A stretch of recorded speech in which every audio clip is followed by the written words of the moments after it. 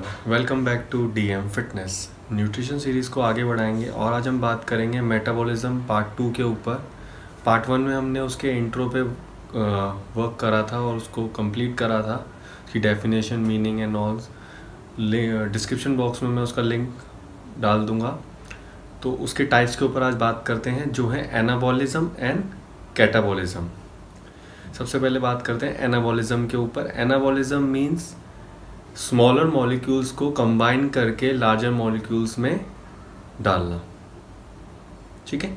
Like अगर weight training में बात करें तो ये मसल बिल्ड करने में मददगार सिद्ध होता है। इसमें जो हार्मोन्स यूज़ होते हैं, वो होते हैं growth hormone I G F one insulin growth factor one जिसको हम कहते हैं टेस्टोस्टेरोन एंड सो ऑन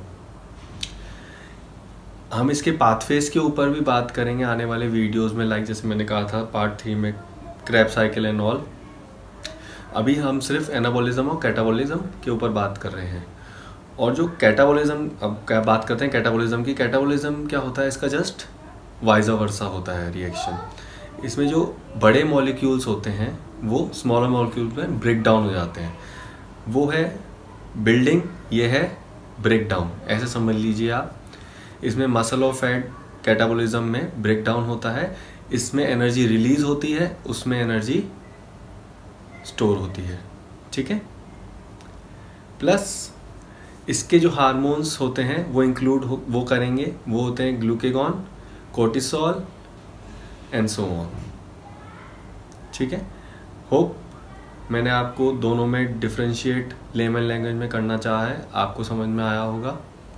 अगले वीडियो में अपन इसके Krebs cycle and different energy pathways के ऊपर बात करेंगे, जिससे एटीपी रिलीज़ होता है।